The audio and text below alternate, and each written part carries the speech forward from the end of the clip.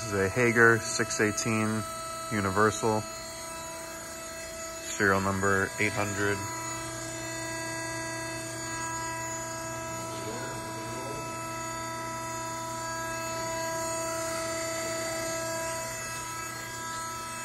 non-conductive mode right now.